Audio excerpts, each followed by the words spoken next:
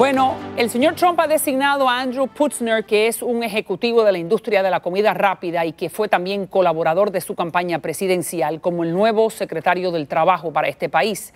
Putzner ha sido un férreo crítico de subir el salario mínimo federal de 9 dólares a 15 dólares por hora y también fuerte crítico del Obamacare. Como director de la Agencia para Protección del Ambiente ha nombrado a Scott Pruitt que es un viejo fiscal del estado de Oklahoma y que niega que el calentamiento global exista. Ha liderado varias demandas de republicanos contra las reformas de Obama sobre la situación del consumo de petróleo y de gas.